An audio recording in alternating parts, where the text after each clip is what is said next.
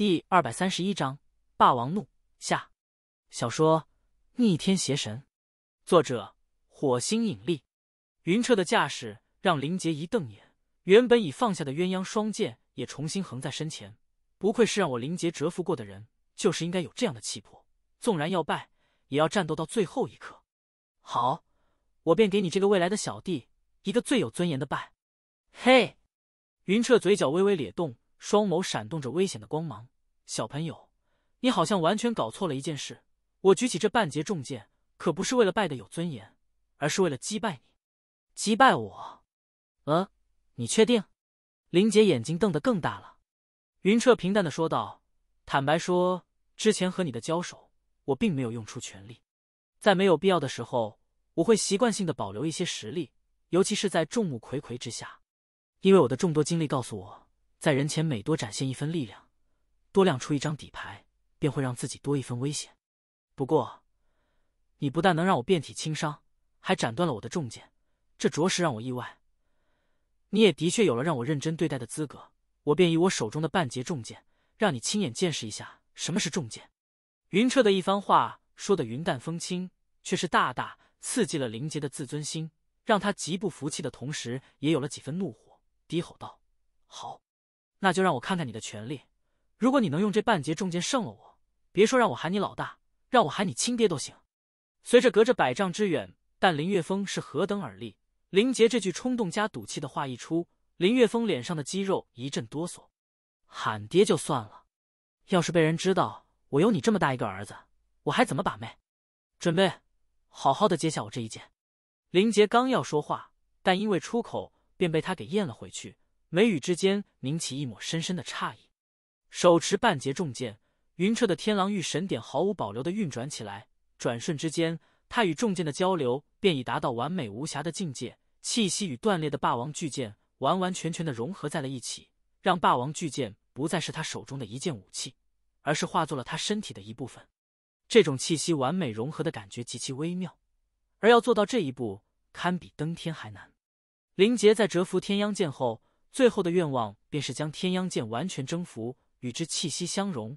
虽然他天赋极高，但他知道自己要做到理想的这一点，至少要十几年甚至几十年的时间。而化作他人，绝大多数一生都不可能做到。之前云彻拿起重剑时，气势大气磅礴，如若一座无法撼动的山岳。但此时林杰却分明感觉不到了重剑的气息，视线中那半截明明就被云彻抓在手里。但感觉却告诉他，这把重剑已经不存在，而是完全的融入了云彻的力量与灵魂之中，天衣无缝，无懈可击。这便是在龙神试炼的无尽平原之中，云彻猎杀数万强大玄兽后收获的最大成果。这种感觉，正是林杰准备用一生去追求的完美境界，此时却完完整整的呈现在了他的眼前，让他的灵魂剧烈激荡。剑剑，这一次。云彻主动攻击，他低低跃起，半截重剑在他双手间挥洒，以一个再普通不过的跳斩砸向林杰。云彻的重剑轰击，林杰已面对过多次，但这一次重剑刚刚抬起时，他便有了一种彻底窒息的感觉。云彻身体跳起时，他仿佛看到了一座高不见顶的山岳凌空向他撞来。明明只剩了半截重剑，但这一剑的威力与威势却超出了之前每一剑。轰！重剑虽然断裂，但由于完整状态太过巨大，纵然只剩半截，也依旧有五尺之长，基本和林杰手中的鸳鸯双剑平齐。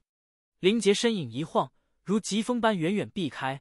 云彻一剑落空，半截重剑狠狠地砸在地面之上，带起一声山崩地裂般的巨响。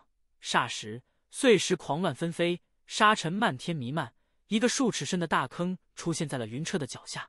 这一剑的威力，让林杰。还有论剑台周围所有的人狠狠倒吸了一口凉气。晃流斩，林杰猛一吸气，鸳鸯双剑环绕着他的身体快速飞舞，带起道道将空气空间肆意撕裂的剑气剑芒。面对两把强大天玄剑的攻击，云彻的眼神出奇的平静，他看也不看两把天玄剑一眼，锁定林杰的位置，半截霸王巨剑一剑一剑的轰出，轰，轰，轰，轰。云彻的每一剑挥出，地上都会多出一个深深的巨坑。并伴随着震耳的巨响和漫天飞舞的碎石沙尘，可以想象，那每一剑里蕴藏的近乎是灾难性的力量。轰鸣声声声震耳荡心，就如有一个巨人正从远方踏地而来，坚硬无比的悬力屏障也随着云彻每一剑的挥出而大幅度站立。在云彻砸出第一剑，所有人便已惊呆，随着他的每一剑，便如在他们的耳边、心上响起一声惊雷。当他的霸王巨剑被斩断，几乎所有人都已经比赛已结束时，他却以半截重剑挥出了石破天惊的一剑又一剑，声威还要远胜之前他手持完整重剑时。之前林杰还能以鸳鸯双剑将重剑风暴给撕裂，但陡然间强盛了数倍的重剑力量，将注满剑意的鸳鸯双剑一次次轻易的震开，别说撕裂，就连靠近都不能。纵然他以极高的身法和剑速抓住破绽时，云彻却根本不理会已近身的鸳鸯双剑。尽管一剑轰出，那整整笼罩数丈范围的恐怖风暴会逼得林杰不得不撤剑远远避开。吃，轰，吃，轰，刺耳的切裂声、震耳的轰鸣声交杂在一起，狠狠的撞击着所有人的听觉和灵魂。两人在交战中移动了数十个身位的距离，但他们的脚下。却多了上百个重叠在一起大坑，道道裂痕更是密密麻麻，多得根本难以数清。整个论剑台中心被摧毁的面目全非，沙尘和碎石一波波的扬起，高达十数丈，将两人的身影都几乎完全淹没，只能隐约看到两个晃动的影子，以及如流星火光般迅疾飞舞的青色、橙色剑芒。这，这是真的吗？云彻的重剑明明被两把天玄剑给斩断了。为什么只有半截重剑的时候，威力却忽然一下子大了这么多？难道，难道云彻之前根本就没有用出全力，连一半的实力都没有用出来？真玄境十级！我的老天，这到底是个天才还是怪物？轰！云彻一剑轰地，林杰虽然躲避的无比迅疾，但依然被波及，被冲击的向后倒飞而去。还未落地，林杰便目光冷光一闪，鸳鸯双剑在身前交错。清晨光芒变得无比浓烈，天威绝剑，断月。这是刚才林杰斩断霸王巨剑的一击，无论速度、威力都极端恐怖。但云彻已因这一剑吃了大亏，怎会同一个地方跌倒两次？在鸳鸯双剑剑芒闪动时，云彻的视线便已冷凝，精力集中之下，快如闪电的两道剑芒速度已不是那么可怕，在他的感知之中划出了一道清晰的轨迹。不要以为只有轻剑有剑芒，重剑也可以有剑芒。面对这将霸王重剑都斩断的可怕一击，这次有足够准备，完全可以以心神碎影避开的云彻，却没有选择躲避，反而撩起了半截霸王巨剑，剑身之上忽然蒙上了一层黝黑的玄力光芒。呵！云彻一声暴吼，重剑对着飞射而来的断月剑芒凶狠无比的撩起，随着一声几乎将人耳撕裂的呼啸声。一道巨大的漆黑剑芒在所有人猛然收缩的瞳孔中爆射而出，撞向了漆黑剑芒。是什么？林月风蓦地站起，口中发出一声失控的惊喊。如果说林杰的青城剑芒是两弯细月，那么来自云彻的剑芒便是一轮巨大的漆黑满月。轰！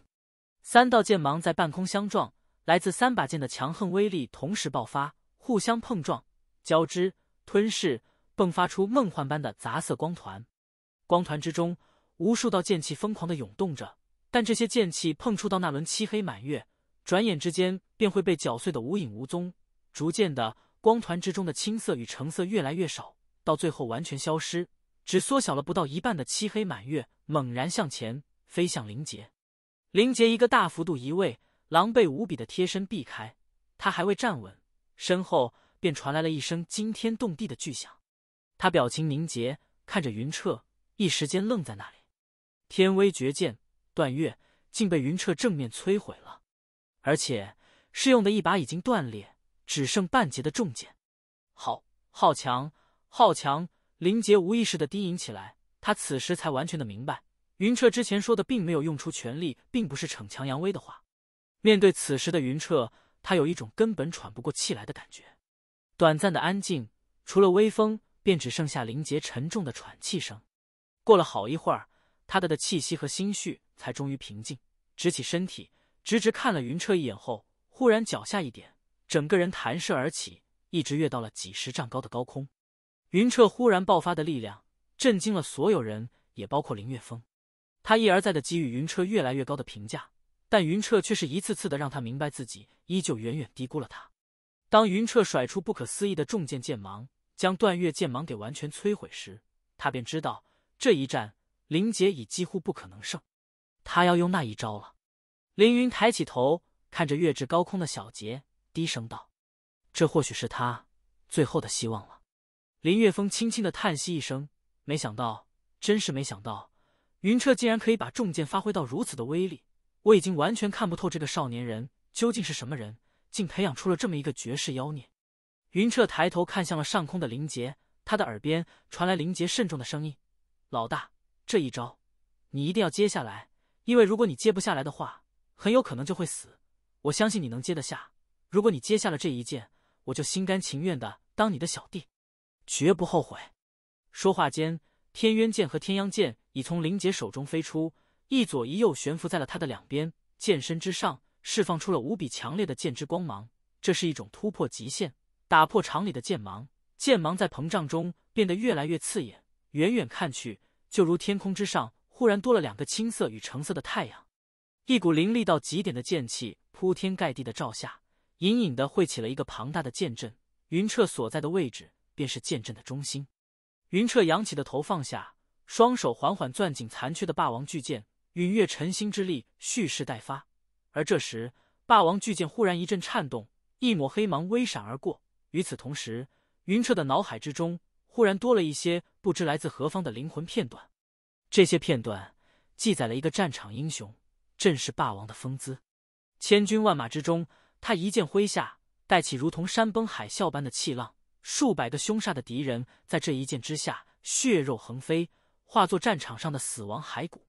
他每一剑都仿佛能震荡苍穹和大地，敌军浩浩荡荡，不见尽头，却没有一个人能进入他十丈之内。他的重剑肆意挥舞，在万军之中如入无人之境。而他所挥舞的，正是云彻手中的这把霸王巨剑。这些灵魂片段是霸王巨剑那微小的灵性。所记载的零星画面，也是他身为霸王之剑毕生不会忘却的荣耀。陨月晨星的力量消散，云彻闭上了眼睛，循着灵魂片段中的那个霸王的姿势，举起了半截霸王巨剑。一股霸道无比的剑势在重剑之上缓缓凝聚。老伙计，谢谢你在最后给予我的珍贵礼物。这一剑便名为霸王怒。本章完。第二百三十二章霸王终结。小说《逆天邪神》，作者火星引力，天威绝剑终结式，天耀！林杰一声大吼，青色与橙色的光芒忽然在空中同时爆开，爆发出遮天蔽日的剑芒。这些剑芒之强烈、之耀眼，竟几乎遮蔽了苍穹之上的太阳之芒。这恐怖的剑芒之中，有两把天玄剑释放的无数剑气纵横盘旋，最后凝成了一把十丈之长的青城巨剑。从上空坠落而下，砰！整个玄力屏障在磅礴如海啸般的剑势压迫下直接崩碎，一道道裂痕在论剑台上疯狂蔓延，最长的一道直接蔓延到了御剑台的边缘。云彻所在的论剑台中心位置，地面开始了大幅度下陷。这样的阵势让不少弟子在胆战心惊中迅速聚起护身玄力。林杰的这一招终结剑，仅仅是剑势便已如此恐怖，其威力之大。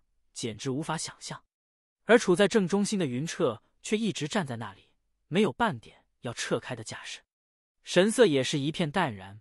别说惊惧，连一丝凝重都没有，分明是要硬抗这一剑。林月峰站了起来，看着云彻的架势，他低低的道：“如果你能硬接下这一剑，别说杰儿，连我都会佩服你。”看着下方的云彻没有要躲开的意思，林杰的双目也泛起强烈的异彩，他将所有的玄力、剑意。甚至意志都毫无保留的全部释放，凝成的是他有生以来最大的一把天耀之剑。纵然是和他一直想打败的大哥凌云对战，他也从来没有如此的毫无保留。接不下，我胜；接下了，你就有十分的资格让我林杰当你的小弟。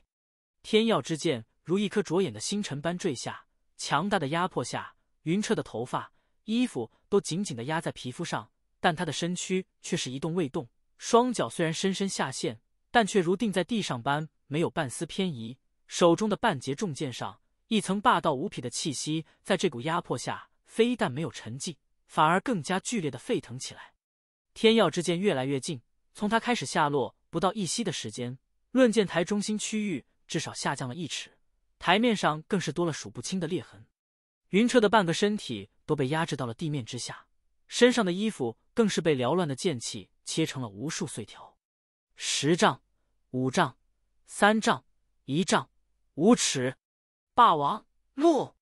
就在巨大的天耀之剑剑尖距离头顶还有不到五尺的距离时，一直沉静的云彻就如一头忽然觉醒的怒龙，全身的玄力在一瞬间爆发，大吼声中，戾气环绕的半截霸王巨剑毫无畏惧的迎向了坠下的天耀之剑，那一声霸道的剑啸。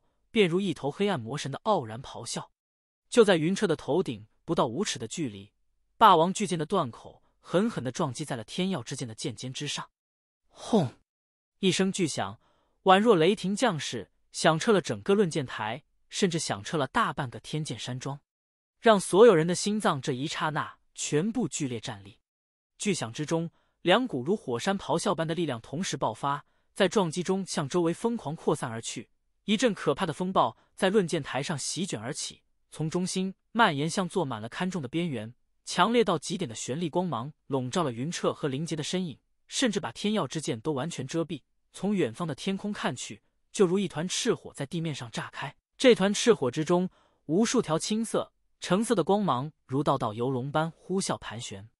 整个论剑台开始颤抖，道道宽大的裂痕一路蔓延，最大的一条。将整个论剑台给切成了两半，除了云彻，林无垢距离天耀之间的斩落位置最近。以他天玄后期的玄力，这样的力量当然难以伤得了他。但纵然是他，也不敢等闲视之。他没有试图去修复玄力屏障，而是远远跃开，然后一声低吼，玄力外放，将蔓延至自己所在方向的剑气全部抵挡。同时，论剑台的其他方位也分别跃出一个天剑山庄的强者，将蔓延的剑气封锁。以防伤到边缘玄力低微的年轻玄者们，天耀之剑的威力大大的超出了云彻的预料。但云彻以半截重剑挥出的一击，威力之大，更是让林杰震惊无比。倾注林杰所有力量与剑意的天耀之剑，在被霸王巨剑碰触的那一刻，竟就那么停滞在了半空。两股力量的疯狂爆发中，天耀巨剑却是再也无法下落半分。十几息之后。一丝微小的裂痕在天耀之剑的剑尖上出现，随之这丝裂痕快速蔓延，从剑尖延伸至剑身，一直到达顶部。轰！又是一声巨响传来，将天空的几朵云彩都给震散。这次是天耀之剑从正中崩裂的声音。鸳鸯双剑斩断了霸王巨剑，而断裂的霸王巨剑在这一刻用更加霸道凶狠的方式轰断了鸳鸯双剑所同时凝成的天耀之剑。这是霸王的怒火，霸王的报复，亦是霸王的尊严与骄傲。天耀之剑断裂，而且不是横向断裂，是更加彻底的纵向断裂。那些如狂风骤雨般的缭乱剑气，也因力量主体的断裂而快速消散。论剑台的战力逐渐平息，上空的风暴也停止了呼啸。逐渐消逝的力量光芒中，林杰的身影高高的跃出，随着劲风一直飘到了数十丈之外，无力的落在了地上。双脚碰触到地面时，他的身体一阵剧烈摇晃，有些艰难的站稳。天阳剑和天渊剑依然被他牢牢的抓在手里，只是此时的鸳鸯双剑却失去了自己的力量光芒，变得暗淡无光。他的脸色也苍白的无一丝血色。笼罩云彻的沙尘和旋力风暴随风消散，终于映出了云彻的身影。他的周围是一个径长五十多丈、深两丈有余的大坑，他便站在大坑的正中心。如此的大坑。表面却是光滑如镜，几乎看不到一处坑洼，可想而知，刚才纵横其中的剑气是多么的凌厉可怖。整个论剑台此时看上去只能用惨不忍睹来形容。如果不是亲眼所见，或许任谁都不会相信，这样的场景竟是一个灵玄境与一个真玄境的玄者激战所造成。此时的云彻头发凌乱不堪，满脸灰尘，身上的衣服更是破烂到极点，基本已不能被称之为衣服。而是一缕缕凌乱的布条，好在关键部位还能勉强遮住，否则就算他脸皮厚如城墙，也别想架得住。从他裸露大半的身体上可以看到数不清的细小伤口，但也只是一些细小伤口，对一个玄者来说根本毫无大碍。别说重伤，连一丝像样的创伤都没有。离他最近的林杰看着云彻的状态，差点没把两个眼珠子给瞪出来。他之前还提醒云彻，如果接不下来的话，便有可能会死。而他自信，云彻纵然接下来，也必然狼狈不堪。死活都没想到，自己倾注一切剑意和玄力的一击，居然特么的只碎了他的衣服和造成一些无关痛痒的小伤。咣当！平时视若生命的爱剑被林杰直接扔到了地上，他一屁股坐下，崩溃般的叫嚷道。不打了，不打了，我认输！啊！我林杰以后再再再再也不和你这个变态打了。说出“我认输”三个字后，林杰顿时觉得一身轻松，仿佛一直压在身上的沉重大石被卸下。这一战，他倾尽了全力，纵然败了，也本该是畅快淋漓，大感痛快。但之前的交战，林杰最大的感觉却是难受二字。他从来没有哪一架打得如此难受。平时和天剑山庄里的师兄弟过招，即使对方胜他好几倍，他也毫不畏惧，如一头幼虎般与之凶猛对战。纵然受伤，也不会有半点忌惮和退缩。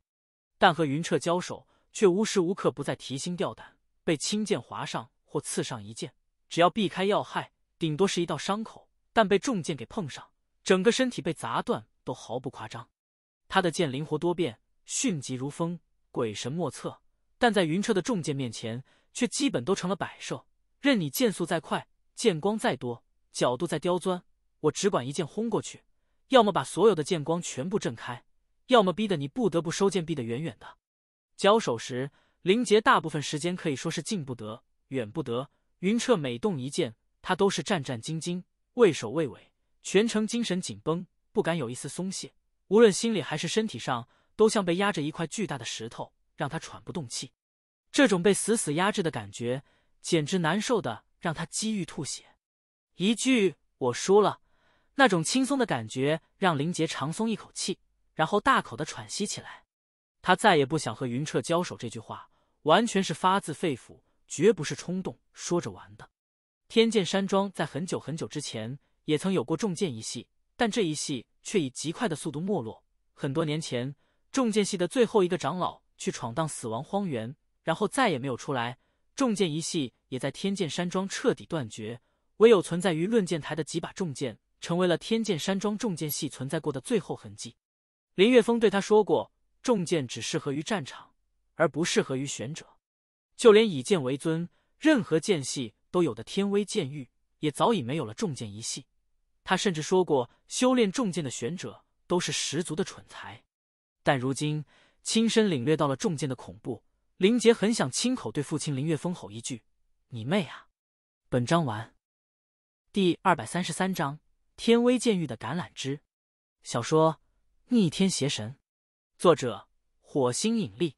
天剑山庄林杰认输，苍风皇室云彻胜。进入明日的最终战。林无垢待了整整三息，侧目看了林岳峰一眼后，才用带着深深异样的声音宣布了这个结果。啪啪。啪啪啪啪！论剑台的边缘忽然响起了响亮的拍掌声。起初只是零星几个，然后快速扩散至一小片、一大片，最终几乎所有人，包括一些宗门长者，都站起身来，面带异彩的发起赞叹的掌声。在排位战历史上，精彩对决后的掌声很常见，但如此热烈、响彻全场的掌声却极其罕见。但这一战对得起满场的喝彩。很多道场的宗门并没有取得太理想的排位，但亲眼目睹了这一战，他们都一种庆幸到来的感觉，因为他们亲眼见识到了天剑的风姿和重剑的神威，更见证了两个必定成为苍风未来皇者的少年的第一次对决。而此刻回想起，他们一个只有十六岁，一个只有十七岁，一个玄力只有灵玄境六级，一个才真玄境十级，人们的心脏无不是一阵不受控制的战栗。林无垢宣布他胜利的声音和满场的喝彩声在耳边环绕，云彻的脸上却并没有露出什么兴奋的表情，而是漠然的看着手中的半截霸王巨剑。只剩下半截的霸王巨剑，此时已布满了密密麻麻的裂痕。一声清风轻轻拂过，带起云彻的发梢，也带起了霸王巨剑破碎的剑体。一块块漆黑碎片从剑上接连散落，落在了云彻的脚边，最后留在云彻手里的。只剩下一个沉重的剑柄。曾经威临战场、成就霸王之名的霸王巨剑，终于在今日，在云彻的手下寿终正寝。云彻蹲下身来，把碎片全部细心的收起，没有让任何一片遗落。最后，剑柄也被他收入天毒珠之中。看着云彻空荡荡的双手和脸上不知怎么形容的表情，一步步挪过来的林杰神色一阵发窘。作为用剑之人，他当然最清楚爱剑意味着什么，那是近乎亲人般的存在。他憋了好半天，才弱弱的道：“呃啊，老老大，御剑台那边也有不少重剑，其中有三四把也是地玄级的，我我我我赔给你，你就算要全拿走都没关系。”话一出口，林杰便下定决定：如果云彻真的要把所有的地玄重剑拿走，就算父亲反对，他也一定想尽办法，如云彻所愿。不用了，云彻很随意的一笑。我早说过了，能毁掉他是你的本事，没必要觉得愧疚之类。咋样，现在服了吗？见他笑得毫无芥蒂，林杰放下心来，心中的忐忑也转为了一种暖暖的感觉。嘿嘿，服了，彻底服了，嘴上服气，心里服气，全身上下都服气。以后你就是我林杰的云老大。哎呀，老大，你究竟是怎么做到的？你才真玄境十级，居然就这么厉害！你半年前实力明明差我一大截，现在却能玩虐我。还有你的身体到底是怎么练的？简直比石头还硬啊！还有还有，老大，我老爹说重剑是最没前途的武器，为什么你用的这么厉害？跟你打了一架，连我都想该修重剑了。林杰的这几声“老大”喊得心甘情愿，顺顺畅畅。他目视云彻，双眼放光。一连串的问题接连而出，每一个问题他都极想知道答案。不过云彻只回答了最后一个：重剑是最适合我的武器，但不适合于大多数人。你可千万别脑袋发热去玩重剑。嘿嘿，林杰傻傻一笑，他当然也只是随口说说。林杰的玄力透支，基本是被云彻半扶着走下论剑台。这时，极少有什么动静的林坤却从座位上缓缓的站了起来，目光转向了云彻。在巨大的论剑台上，他的这么一个举动可以说极不起眼，但全场所有人的目光在一种莫名气场的牵引下，全部下意识的看向了他。他忽然起身的举动，也让所有人心里一咯噔。天威剑域，一个对他们来说神圣而遥远、近乎神话般的存在，掌声一下子停止了，整个论剑台也变得落针可闻。所有人屏住呼吸，等着看这个来自天威剑域的高人究竟要做什么。年轻人，你是叫云彻对吗？林坤看着云彻，笑呵呵的道，声音很是温和。云彻脚步一顿，心中晃过一抹惊讶，他微一点头，不卑不亢的道：“是晚辈云彻，不知林前辈有何指教？你现在是这个苍风帝国皇室所立的玄府弟子？”林坤问道。“是。”林坤缓缓点头，说出了一句石破天惊的话：“那你可有兴趣？”加入我天威剑域，林坤的这句话，每一个字都如在人们耳边响起一声惊雷。秦无伤愣住，苍月愣住，就连林月峰都完全愣在那里。全场每一个人的脸上都露出的深深的惊呆之色。天威剑域四大圣地之一，是天玄大陆至高无上的存在。能入天威剑域的，无不是当时巅峰层面的人。毫不夸张的说，在天威剑域，就算是一个看门小厮。到了苍风帝国，都能成为威名远扬的一派宗师，地位之上，更是足以胜过一国帝皇。在场的众多年轻玄者都是天才级别的人物，但却没有一个曾奢望过能进入四大圣地之一。即使是凌云，也从未有过。在天玄七国中，苍风帝国的国域最小，国力最弱，也是距离四大圣地最遥远的国度。四大圣地的名字，他们都只在传说中听过，极大多数的人一生都不可能接触到一丝一毫。但如今，这传说中神话般的圣地，却主动向一个十七岁的少年抛出了橄榄枝。一道道目光集中在云彻的身上，震惊、艳羡、惊叹、妒忌、难以置信。焚天门坐席，焚绝城的脸色变得无比之难看。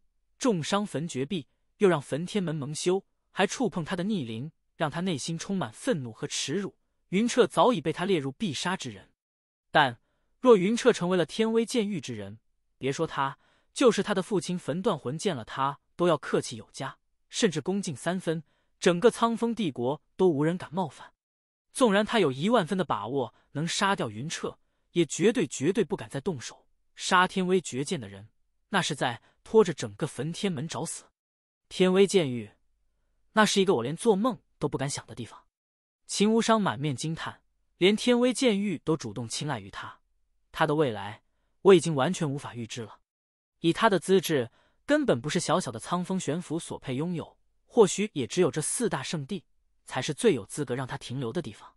也许用不了多久，能与他认识一场，都是足以让我骄傲一生的事。呵 呵秦无伤温和的笑，苍月的情绪则是一阵复杂。天威剑域抛出的橄榄枝，足以让天下所有玄者羡慕嫉妒到发狂。他为云彻而惊喜，但同时心中也生出了深深的失落和不安。他才十七岁，便已有资格进入到那个梦幻般的层面，未来根本无法预期自己与他的差距。到时将是天壤之别，自己能配得上他吗？他若去了天威剑域，还会回来苍风帝国这个小小的地方吗？云彻身边的林杰张大了嘴巴，然后一脸兴奋的向云彻道：“老大，天威剑域，天威剑域啊，那可是圣地啊！太好了，老大，实在是太厉害了！”云彻的眉头动了动，他没有如人们所预料般的欣喜若狂，脸上只有一片让人惊讶的平静。他上前一步。礼貌的道：“万分感谢林前辈看得起晚辈，只是晚辈现在是苍风玄府的一个内府弟子，暂时并没有离府的打算。而且晚辈在这里还有诸多的恩怨未了，纵然心中无限神往，但也无法让自己抽身离开，只能深谢林前辈的错爱和好意。”云彻的回答完全出乎了人们的意料，他们瞪大眼睛，全部怀疑云彻是不是疯了，被天威剑域主动招揽，多少人做梦都不敢想的事。他竟然拒绝了，反而甘愿留在一个小小的苍风玄府，这简直是只有白痴和疯子才会做出的回答。林坤却没生气，反而平和的笑了起来，呵呵呵呵，好，虽然年轻，却不骄不躁，不慌不忘，实在是难得。我之所以想带你入天威剑域，并不是因为你所表现出来的天赋资质，你的天赋资质在这个国度虽然足够惊人，但在圣地之中。却连平庸都算不上。我看中的是你对重剑那完美的驾驭能力。天威剑域曾经也有重剑一系，但最终没落，而你却让我看到了重剑的希望。我不方便问你的师傅是谁，但你若加入天威剑域，或许有可能重振重剑一系。若你能做到，将来成为天威剑域的长老级人物，也绝非不可能。四，天威剑域的长老级人物，这几个字。让不少人暗中猛吸冷气，那可是天剑山庄庄主林月峰都没资格见到的人物。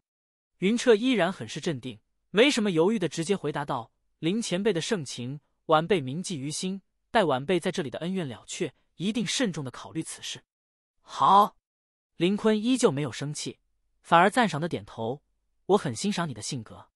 既然如此，我也不勉强你。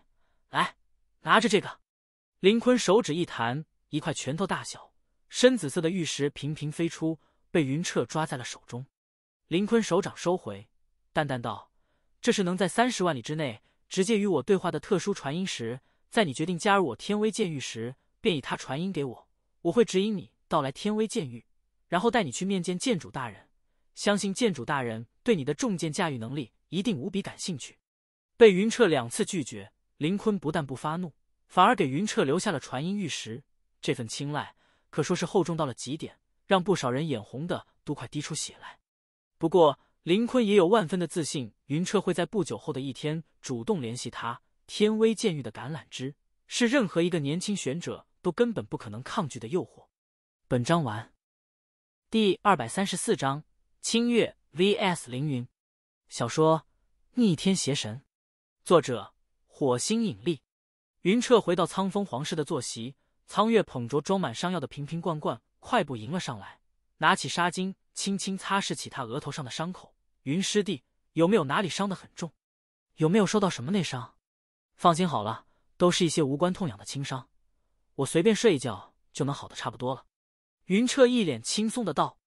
云彻的脸色红润，呼吸平稳，连激战后的急促都没有。碎衣之下的伤口也基本都是一些红痕，连血珠的痕迹都看不到几处。苍月放下心来，打量他一眼，忽而扑哧一笑：“你看你现在的样子，就像是刚从深山里爬出来的野人一样。”一阵风吹过，云彻顿时感觉全身凉飕飕的，像是没穿衣服一样。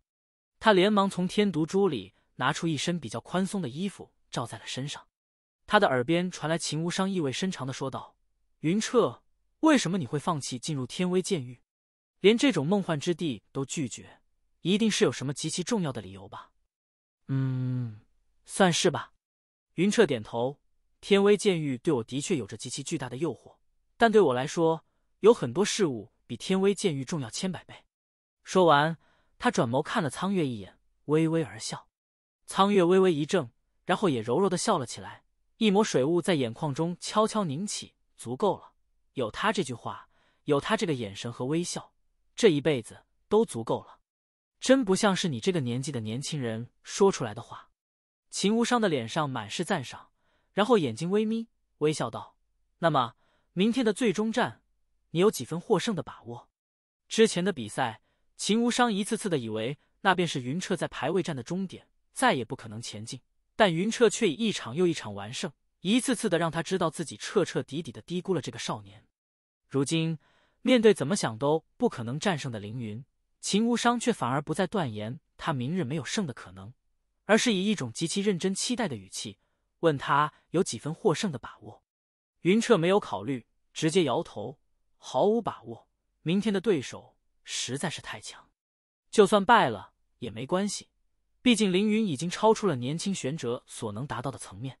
秦无伤呵呵而笑，而且你已经出尽了这场排位战最大的风头，我相信在大多数人眼里，你已经是这场排位战最大的胜者。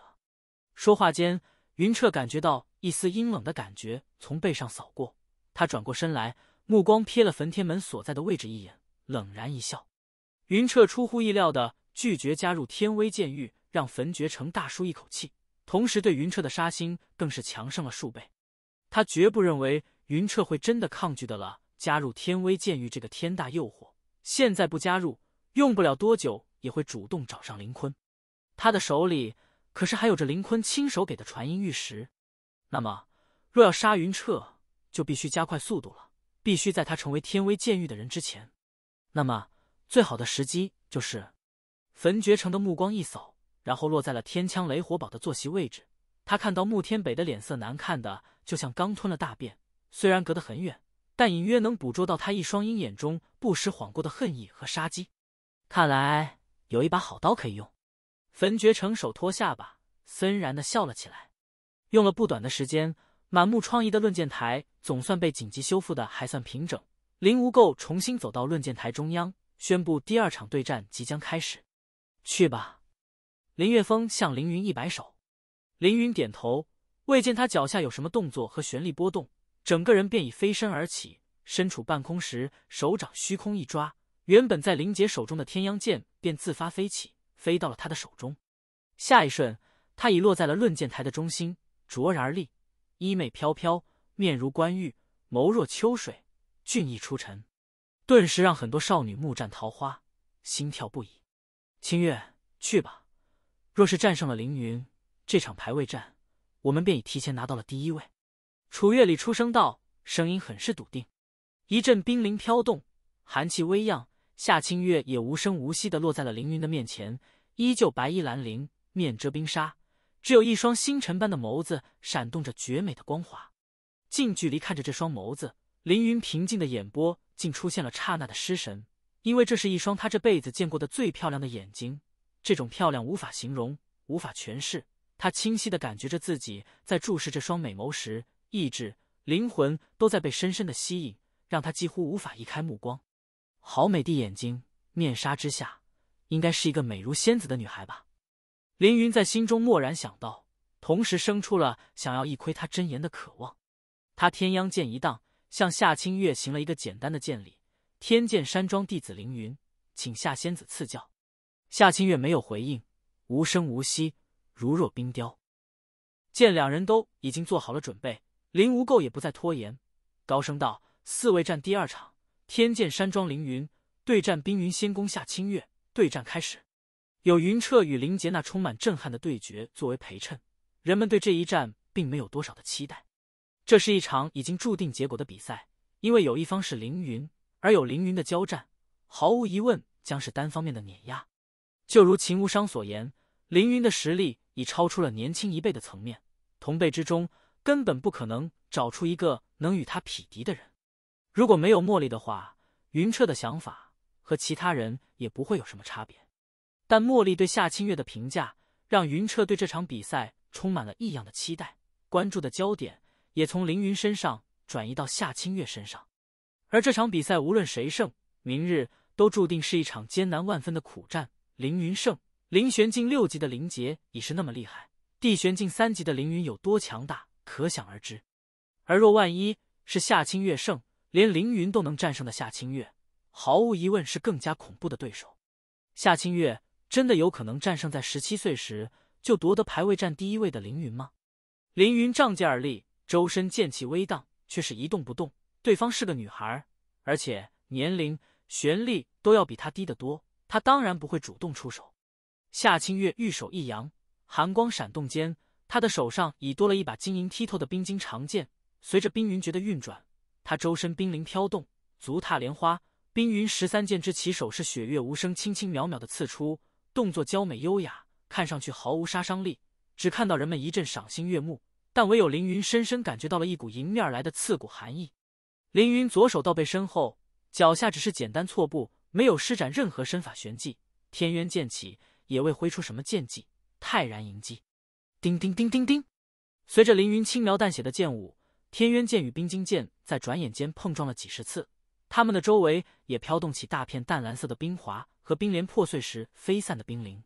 之前云彻和林杰的一战，招招取敌，招招凶狠惊险，但凌云和夏清月的交手，却仿佛是一对俊男美女的优雅起舞，美不胜收。哼哼。看起来云儿是想给对方留一点颜面，林月峰笑呵呵的道：“那是自然，云儿的心性善良。这是四位战，对手又只是一个女孩子，她断然不会像之前那样抬手间将对方挫败。”轩辕玉凤淡笑着道：“夏清月的剑姿如蓝蝶起舞，凌云则是信步闲庭。随着几十朵冰莲的相继盛开凋零，两人的剑也撞击了数百次，一副势均力敌的和谐景象。”而云彻却是看得两眼直冒火，你大爷的凌云，老子都没和清月老婆一起舞过剑，你特么的居然还享受起来！明天的对手要是你，看我不一剑把你砸到脚底下去！叮，双剑相撞，一朵冰莲在双剑碰撞的位置华丽的爆开，凌云身体一个翻转，落在了五丈之外。天渊剑一横，眼神一凝，剑势也发生了巨大的变化，环绕在他身上，剑上的剑意。也如决堤的洪水一般骤然爆发，夏仙子得罪了。声音落下，凌云手掌一翻，玄力与剑意涌动间，天渊剑忽然化作一道流光，飞向了夏清月。在飞射过程中，天渊剑的剑光快速的分散，从一把化作十几把，再到几十把、几百把，最后化作一片铺天盖地的剑阵，如一个庞大的流星群般向夏清月笼罩而下。哇！论剑台上。响起了一大片的惊呼声。这一招，他们在之前林杰和云彻的对战中刚亲眼目睹过，正是那一招天威剑阵，天星缭乱。但凌云的这一招天星缭乱，阵势之上比林杰所施展的要强出何止十倍。林杰不过散起百道剑光，而凌云却是散出了千道剑芒，而且每一道剑芒都刺目的让人无法直视，威力之上，比之林杰根本不可同日而语。凌云的恐怖实力，从这一招之上便可见一斑。看来比赛已经结束了，几乎所有人都在心里这么想着。这样的阵势，让一些宗门长者都胆战心惊。年轻一辈根本不可能有人接得下，林杰不可能，云彻也不可能，夏清月更不可能。本章完。第二百三十五章：轻视仙言。小说《逆天邪神》，作者。火星引力，夏清月被完全笼罩在剑阵之中，前方、后方、左方、右方、上方，全是凌厉无比的剑光。换一个人，面对这根本不应该出自一个年轻人之手的恐怖阵势，只怕双腿都会直接下软。但他水晶般的眸子里却没有一丝的波澜，娇躯如青云般飘起，冰晶剑舞动间，十几朵冰莲在他的周围同时绽放，而且每一朵都比之前要大出数倍，所释放的寒气更是让空间都为之一凝，周围空气的温度以一个恐怖的速度急速下降着。嗯，林月峰原本平淡的脸色顿时一变，十几朵巨大冰莲同时爆开，这绝非林玄境八级所能做到。凌云之前未发挥出全部实力，夏清月分明也是如此。叮叮叮叮叮叮叮叮，密密麻麻的剑芒密集的打在冰莲之上，或者当场破碎，或者直接被冰封在冰莲花瓣间，再也无法寸进。之前的冰莲，凌云随手一剑便可击碎，但这些巨大冰莲在上千剑芒的冲击之下，却没有一朵凋谢。转眼之间，每一朵冰莲之上都插满了被冰封的剑芒。而一些没有碰触冰莲的剑芒，也在即将临近夏清月身体时停滞在了那里，将凌云以玄力和剑意所化的剑芒都给冰封。这些冰莲所蕴藏的寒气之恐怖，可想而知。这是所有人始料未及的一幕，凌云更是心神大震。之前他和夏清月对剑数百次，只是不想让对方败得太快而难堪。而这一剑虽未尽全力，但他本来有着万分的自信，将直接终结比赛，怎么都没想到。竟被对方完完全全的接了下来，没有一道碰触到他的身体。凌云的反应极快，看着那些被冰封的剑芒，他眸中剑光一闪，身体忽如雷电般冲出，虚空一抓，天渊剑便已回到他的手中。那一刹那，随着天渊剑青光一闪，他整个人瞬间消失在了所有人的视线之中。一道青色的流光，就如苍穹坠下的闪耀流星，在论剑台之上一闪而过。这道流星直线划过所有的冰莲，也划过了夏清月的身体。乒乒乒乒乒乒，十几朵冰莲和被冰封的剑芒在同一时间全部破碎，化作漫天冰晶。论剑台中心顿时如下起了一场冰晶暴雨，而凌云的真身出现在了夏清月身后十几丈的位置。当人们的目光重新锁定他的位置时，每个人的内心都被骇然充盈。除了少数的年长强者，没有一个人看清他。究竟是怎么移动到了那里？他们的眼睛所捕捉到的，只有一道忽然闪过的青色流光。这一剑之惊艳，无法用任何词藻去形容。好快！云彻失声道。他感觉得到，这流光一般的速度，并不是什么身法玄技，而是来自天渊剑。普通的境界是以人御剑，而凌云刚才那一剑，却是在他强大剑意的催动下，剑带人形，而非人带剑行。横在身前的手臂缓缓放下，凌云低声道：“认输吧，虽然你比我预想的要强很多，但依然不可能是我的对手。我不想误伤仙子。”说话间，他也缓缓转过身来。而就在他身体完全转过，目光回过夏清月身上时，他的声音忽然死死的卡在喉咙里，再也无法说出一个字。平时总是毫无波澜的眼睛，却在刹那间变呆滞，就连大脑都变得一片空白，视线、脑海之中。只剩下一张仿佛来自幻梦世界的天颜。夏清月右臂的衣袖随着中间的一道长长裂痕垂落了下来，露出了半截雪白的玉臂。而凌云那一剑切裂的不仅仅是他的半截衣袖，随着一阵混入寒气的微风飘过，夏清月脸上的雪白面纱缓缓飘落下，一直牢牢掩盖的真颜就此毫无遮掩的展现在了所有人的面前。整个论剑台霎时变得落针可闻，所有人都完全屏息。夏清月的肌肤很白很白，但绝不是那种让人看着不舒服的苍白，而是一种如最纯净的冰雪、最无瑕的羊脂白玉一般的银白。天空照射而下的光线并不强烈，但它的雪颜却银白的让人目眩，就如冬日里映着阳光熠熠生辉的霜雪一般。垂落的半截衣袖下所露出的玉臂，更是流动着瓷玉一般的流光，美得让人屏息。抛开其他的一切，仅仅是这赛雪凄霜的肌肤。就足以让天下男人为之亡魂失魄。雪肌之上点缀着弯月般的细长柳眉和清澈深邃的碱水双瞳，香腮胜雪，美艳如诗如画。两瓣娇唇就如一抹老天爷用尽心血妙手勾画出来的粉红胭脂，美的惊心动魄。而当这一切都集中于一个女子的身上，展现的是一种让苍穹和大地、日月与星辰都为之失色的绝美风景。夏清月展露容颜的那一刻，绝美的光华在一瞬间遮蔽了其他所有的色彩。他们的呼吸为之屏住，心跳都几乎停止，心中荡动着极其相似的一句话：“这是来自天上的折尘仙女吗？人间怎么可能存在这样的绝色仙姬？受到冲击力最大的，无疑是那些年轻的选者们，他们的视线已彻底绷直，在不知不觉中魂飞天外。纵然是那些平日里从不缺少美女在侧的宗门继承者，也是目瞪神呆。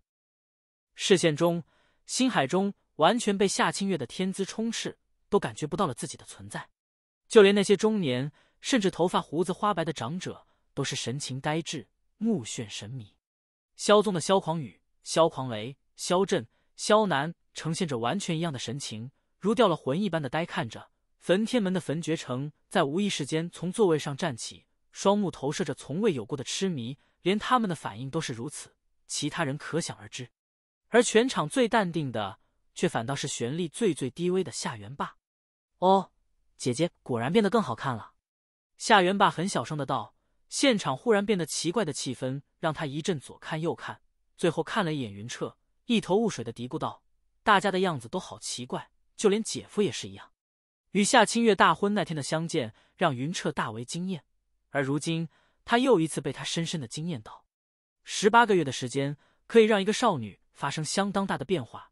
十六岁的夏清月便已美得不似人间少女，如今以十七岁半的夏清月，再加之冰云仙宫的冰雪滋养，已只能用美绝人寰来形容，让他都看得呆滞。这也是他为什么会戴着面纱的唯一理由。不要说男人，同为女子的苍月都被深深的震撼。她同样有着绝美的容貌。更有着极为高贵的身份，但在这种不该出现在凡间的仙子面前，他平生第一次有了一种自惭形秽、自愧不如的感觉。他知道自己不应该有这种感觉，但看着夏清月的风姿，这种感觉却是不受控制的肆意滋生。转眸看着云彻那呆滞的眼神，他伸出手，紧紧的抓着他的衣袖。一些曾参加过三十年前排位战的长者会发现，这一幕像极了当年楚月禅面纱掉落时当初的画面。三十年后。在同一个舞台上再度上演，同样是源自一个冰云仙宫的女弟子。默默的看着全场的反应，回想起当年那段刻骨铭心的过往，林月峰的眼眶出现了些微的湿润。他失神之中，没有发现身侧的轩辕玉凤一直都在注视着他。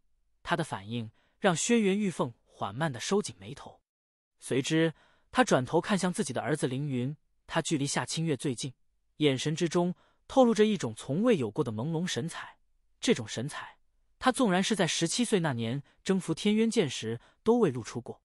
轩辕玉凤的胸口剧烈的起伏了一下，口中发出一声低吟：“冰云仙宫，当年祸害了我的丈夫，现在又要害得我的儿子步他父亲的后尘吗？”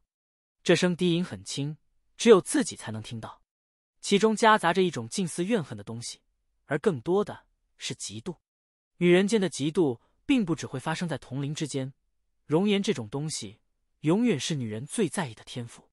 轩辕玉凤今年五十一岁，但作为一个天玄后期的玄者，她看上去不过是连三十岁都不到的少妇。如果再打扮上少女化一些，和凌云站在一起，说是她妹妹，都会有人信。相貌也属于上乘，但要分参照物。若是和大多数女子相比，她是个货真价实的美人；但如果和夏清月相比，难听点说，简直就是烂泥与彩云的差别。凌云的那一剑堪称惊世，面纱被击落，夏清月也是始料未及。看着全场的反应，他悠悠一叹，雪手抬起，将一张新的冰纱覆在了脸上，重新遮蔽了让天地失色、日月无光的倾世容颜。世间最美丽的光彩被无情的眼下，也让无数痴迷中的魂魄终于苏醒了过来。她，她，她是仙女吗？一个宗门弟子痴痴呆呆的低语道：“女人。”居然可以漂亮到这种程度！我刚才感觉到自己的魂魄都不知飞哪里去了。传说中的雪公主，最多也是如此吧？雪公主，雪公主是谁？啥？你连天玄第一美女雪公主都不知道？她是神皇帝国的唯一皇女，在十三岁那年就是公认的天玄大陆第一美女，被神皇帝国的人称作上天的宠女，神皇帝国的明珠，上天赐予神皇帝国的瑰宝。在神皇帝国是信仰一般的存在。神皇帝国的人可以不知道皇帝是谁，可以不知道凤凰神宗，但绝对没有一个人不知道雪公主。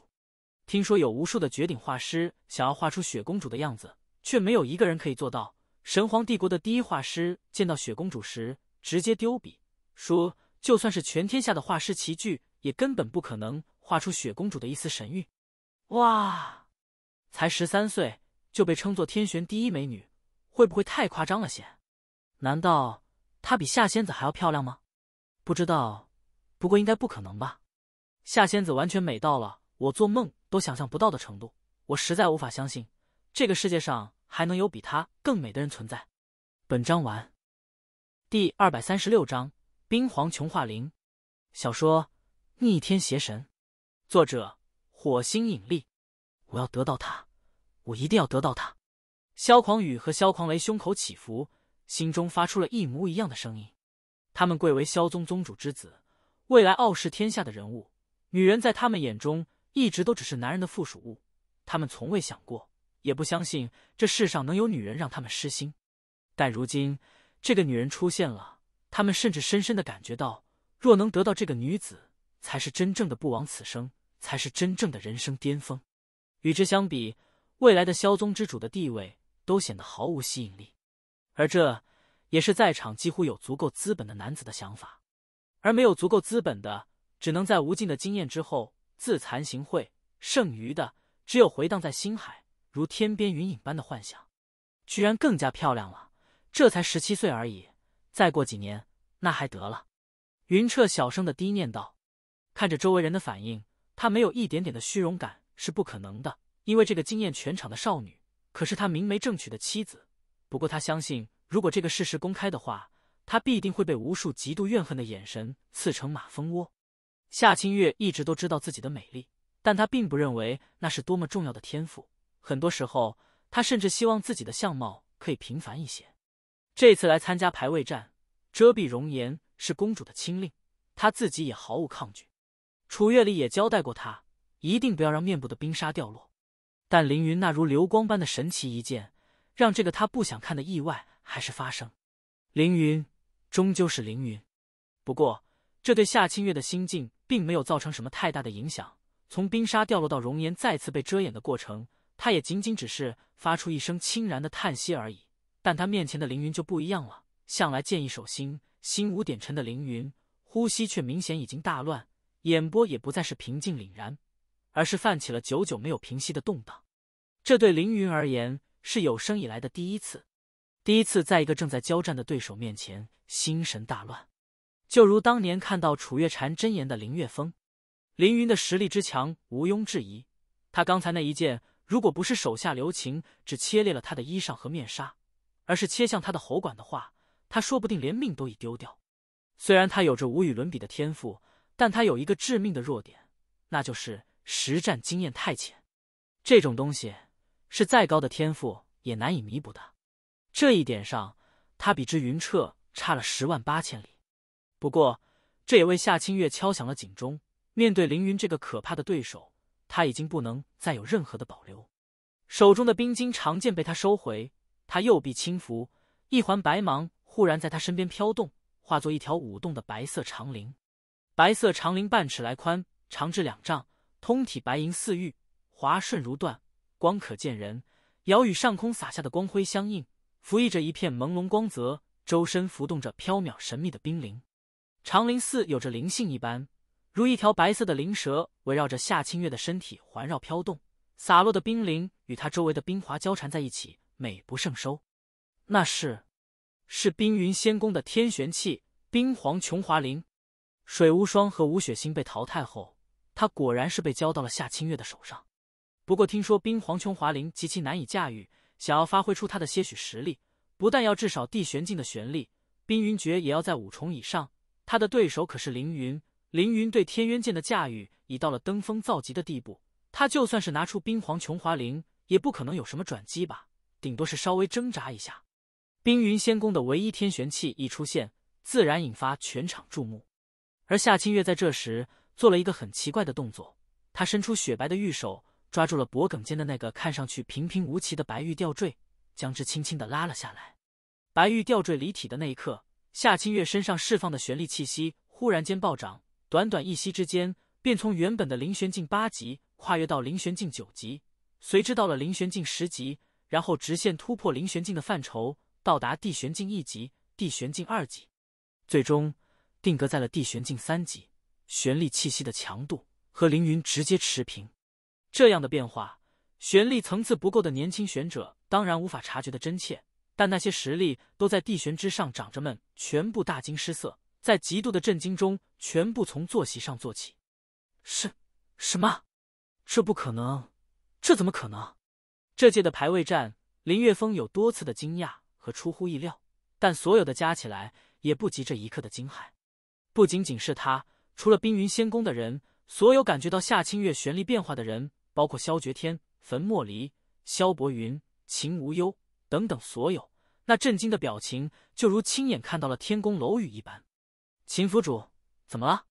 忽然站起的秦无伤，那剧烈的表情变化，引得云彻和苍月连忙询问。秦无伤狠狠的大喘一口气，用一种极度干涩的声音艰难的道：“竟然是地玄境三级！”啊！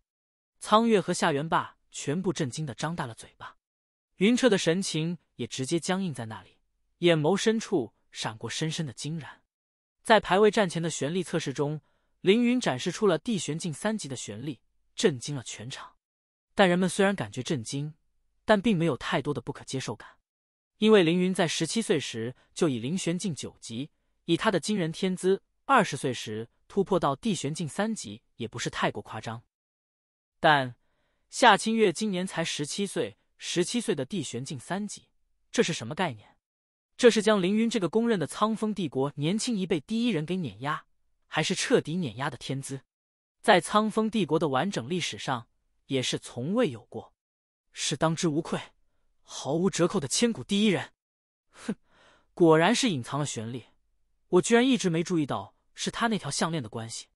茉莉冷哼一声道：“云彻，夏清月从脖颈上取下的项链名为冰盟之珠，可完美的将佩戴者的玄力进行任意程度的压制。没错，是压制。”而非那种很容易被察觉的隐藏，除非以玄力去刻意的关注这条并不起眼的项链，否则纵然是王座也绝难发现。当初在流云城时，夏清月的真正玄力也是隐藏在这冰盟之珠下。在这场排位战上，隐藏玄力当然是夏清月必然的选择。否则，若他直接展露自己真正的玄力，那么可想而知会引发一场怎样的轰动与骚动。十七岁的地玄境已是前无古人，而十七岁的地玄境三级这样的天赋天资，已让在场的人根本找不出语言去形容。强如萧宗、焚天门，甚至天剑山庄，也完全不会认为自己有能培养出这样一个弟子的能力。绝世的容颜惊艳全场，随之又是如此惊世的天资展露人前，那些震惊中的强者们不由得去怀疑：这个才十七岁的少女，会不会根本不是凡人？而是天宫玉帝的送入人间的天之公主，所以才会受到上天如此不遗余力的眷顾。这场对决在人们眼里本该是属于凌云的单方面碾压，但此时状况却发生了巨大的变化。三年前，凌玄境九级的凌云轻松战胜凌玄境十级的穆凌雪，他毫无疑问有着很强的越级挑战能力，所以从这一点上，凌云应该依然占优，但已构不成碾压。而就资质而言，他在夏清月面前已是败得一败涂地，与之根本不在一个层面上。整个苍风帝国也根本不可能再找出一个能与他哪怕相提并论的人。距离夏清月最近的凌云，对他的玄力变化感知的最真切，心潮简直动荡的就如翻滚的海涛，难以平息。视线之中，夏清月缓缓的伸出了手臂，随着他这个很小的动作，冰皇琼华灵舞动的轨迹也发生了变化。变得更加轻灵飘渺，就如一只俏皮的精灵在围绕着绝美的仙子尽情嬉戏。半只被割裂的衣袖无声垂下，露出小半截玉臂，白皙的肤色几乎透明，如由世间在完美无瑕的白玉精心雕琢，美幻绝伦。林公子，多谢刚才一见手下留情，否则清月已经败了。接下来，清月会全力以赴。天籁般动人声音从他花瓣一般的唇间飘渺而出。在凌云的耳边萦绕徘徊，让他目光正然，久久没有反应。这时，他的心海之中忽然传来林月峰的一声冷然呵斥：“云儿，集中精神！”林月峰的灵魂传音如在凌云的头上浇了一盆冷水，让他瞬间清醒。他以最快的速度摒除杂念，收敛心神，剑意归心。他没有说话，以剑势做了回答。天渊剑前指，剑尖之处，空间出现了大幅度的扭曲，一股无与伦比的剑势释放，如一波无形的浪潮般席卷了整个论剑台。一时间，他仿佛成了天地的中心，连相距很远的看众们也清楚的感受到了一股逼人的气势。那种感觉，仿佛被人用刀尖指着眉心，浑身冰寒。比之林杰手持双剑时的剑势，还要强盛近十倍。一剑刺出，天渊嗡鸣。一瞬间，凌云整个人消失了。人们的眼睛所能捕捉到的，只有那一线青色的剑芒，还有那一道清晰的空间涟漪。没错，那是实实在在、真真实实通过切裂空间所带起的空间涟漪，而非林杰以剑威荡起的小幅度空间扭曲。两者之间根本不可同日而语。玄力全开的夏清月灵觉也自然大幅度提升。这一剑在他眼中不再是无迹可寻。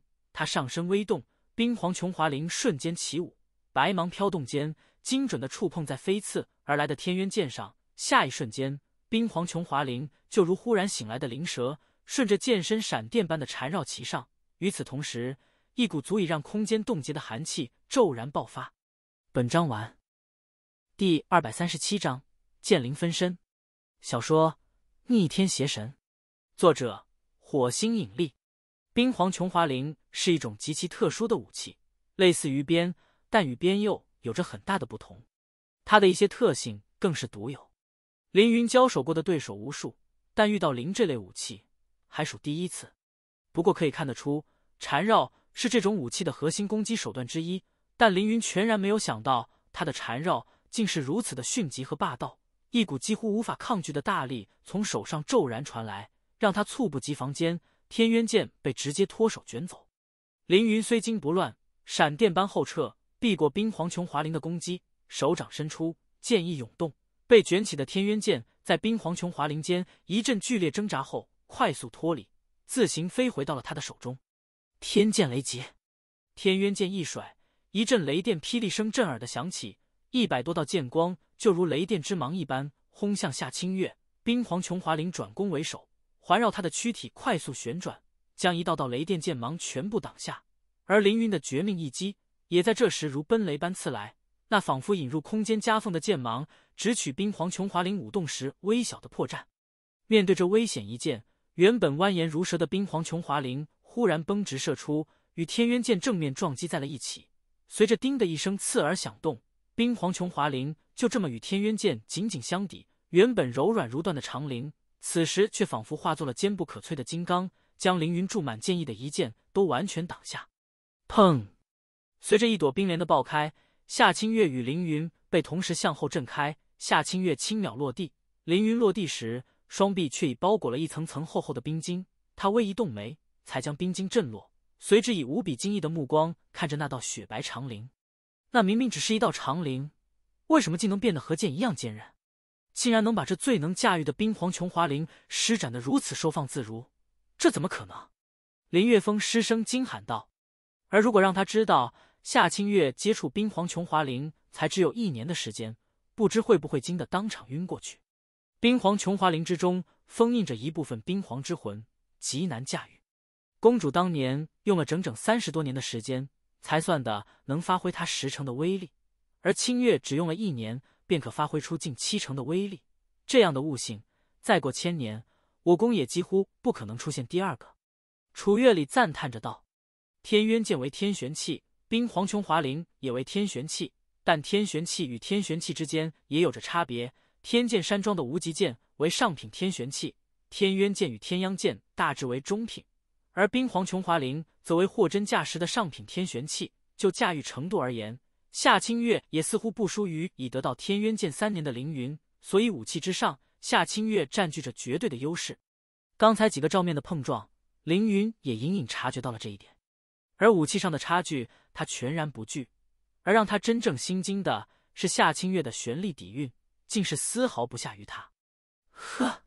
凌云一声大吼。双目之中的眼白快速收缩，放大的瞳孔之中映出了两杆凌厉的剑影。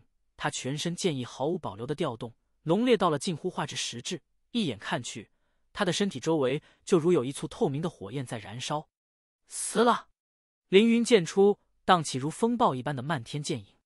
凌云的剑势变化也让夏清月倩眉微动。冰皇琼华绫凌空飞舞，一股刺骨的寒气照向凌云的漫天剑影。砰！林无垢亲自建起的玄力屏障，在他们玄力碰撞的那一瞬间直接崩裂。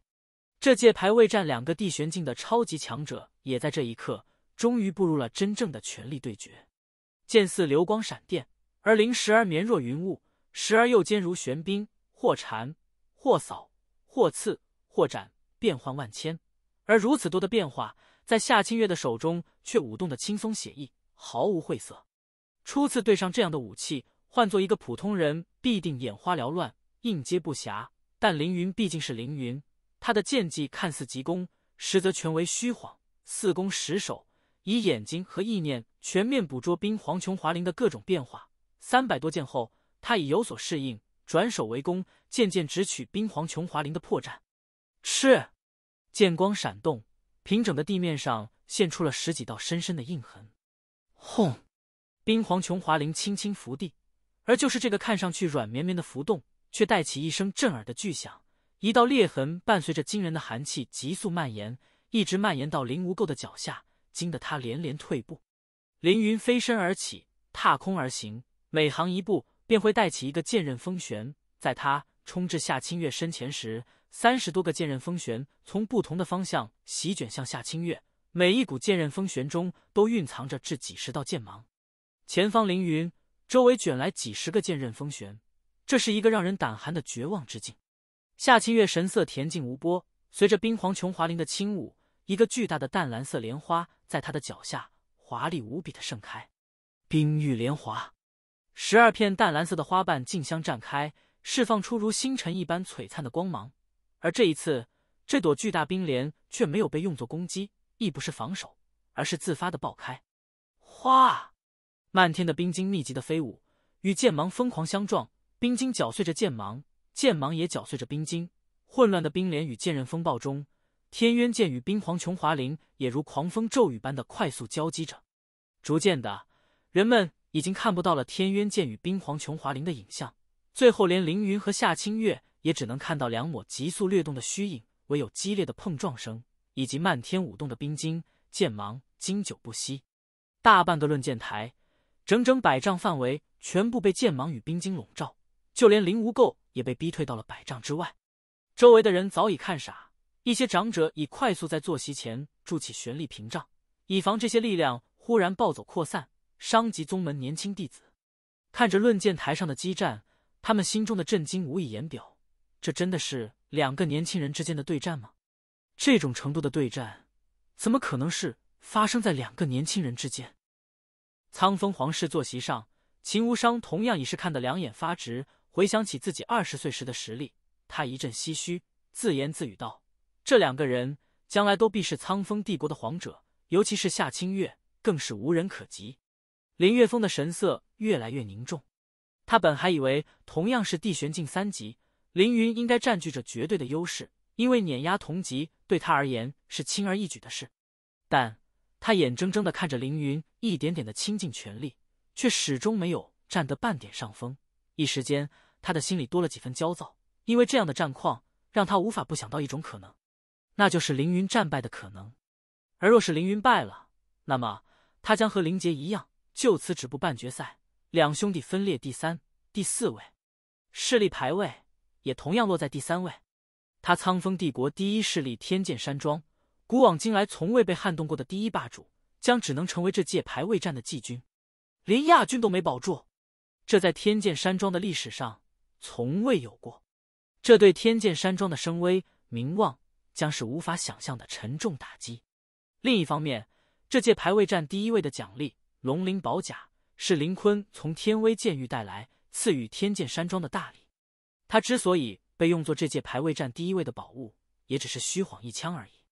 因为赛前他们自己以及其他所有的人都无比确信。这届排位战的第一位必然属于凌云，再也不可能有他人。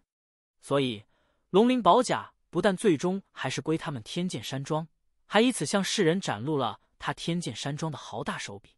如果凌云败了，这件龙鳞宝甲也将落入他人之手。无论哪个后果，都是天剑山庄绝对不能接受的。看了一眼林月峰的反应，轩辕玉凤安慰道：“月峰，不用担心，别忘了，云儿还有剑灵分身没有动用。剑灵分身一出，夏清月决然没有赢的可能。”天威绝剑，乾坤。